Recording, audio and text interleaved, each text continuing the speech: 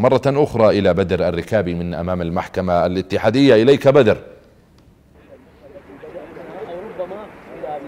بدر مرة أخرى كيف هي الصورة أمام يعني أمام المحكمة الآن بعد تأجيل النطق بالحكم إلى الخامس والعشرين من هذا الشهر؟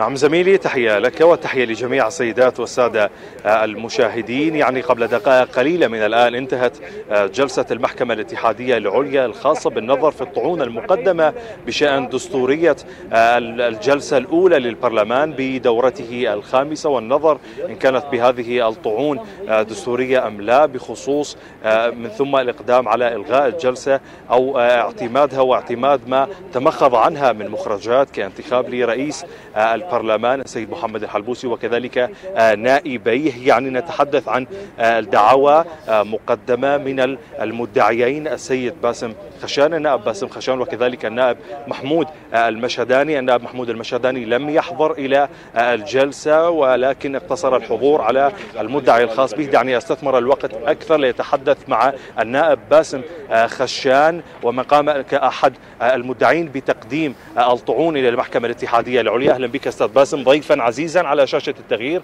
حدثني عن أبرز مخرجات جلسة اليوم. اليوم الجلسة جلسة عادية حضر بها الإعلام هذا الاستثناء الوحيد. الجلسة تتعلق بطعن في دستورية الإجراءات التي اتخذت في الجلسة أثناء غياب رئيس السن. أنا قدمت ادعاءات ولائحة ضمنت ادعاءات رصينة فيما يتعلق بإثبات عدم دستورية هذه الإجراءات. في تصوري دفوع المدعى عليه متناقضة و يعني ما لا يمكن أن ترجح على ادعاءاتنا لكن طيب يبقى القرار لكن يبقى القرار للمحكمة الاتحادية. هذه المحكمة مكونة من تسعة قضاة متخصصين في الدستور وأحكام الدستور طيب. وقرارهم ملزم وبات للجميع. حضرنا الجلسة وشاهدنا هناك جدلية بين الدفوعات التي قدمتموها والدفوعات التي قدمت من قبل المدعى عليه بشان رئيس السن الأكبر وحضوره بالجلسة وخروجه. ماذا قدم المدعى عليه؟ كيف رأيتم الدفوعات الخاصة يعني بهم؟ الفرق بين رأيي ورأي المدعى عليه. المدعى عليه يرى أن التالي من حيث العمر يرتقي إلى رئاسة الجلسة في غياب الأكبر سنا تلقائيا.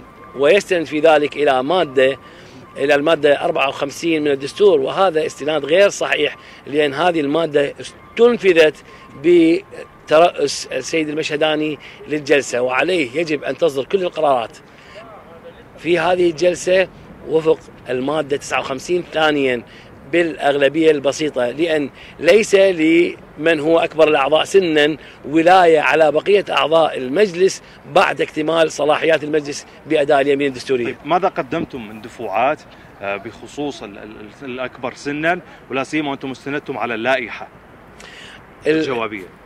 الدفوع اللي قدمناها والادعاءات هي أنه رئيس السن بعد غيابه يجب أن يصدر قرار يحدد مصيره بتصويت الأعضاء مو بقرار ارتجالي فردي من شخص هو أكبر الأعضاء سنا وهذا هو الفرق بينه وبين الأعضاء الآخرين اللي يكتمل صلاحياتهم في الجلسة بعد أداء اليمين الدستورية بالتالي أنتم ترون بأن الجلسة كانت غير دستورية وما تمخض عنها كان أيضا غير دستوري؟ بالتأكيد لو كنت أرى أن الجلسة دستورية ما طعنت في الإجراءات طعني في هذا في هذه الإجراءات هو دليل واضح وصريح على أنه قناعاتي هي أنه هذه الجلسة غير دستورية. سؤال أخير أسف جدا على الإطالة بالتالي أنتم ترون أن الجلسة المقبلة التي أجلت إليها ستكون لربما إنصاف لكم وستنص وتقر بعدم دستورية جلسة البرلمان الأولى؟ هذا ما أتمناه. المحكمة ستحكم وفق ما ت... وفقا لما تراه. لكن لحد الآن أنا أظن أنه كفة كفة ادعاءاتنا هي الراجحة. وفي الدعاوى الدستورية الحكم يكون لصالح الكفة الراجحة. شكرا جزيلا أستاذ باسم خشان.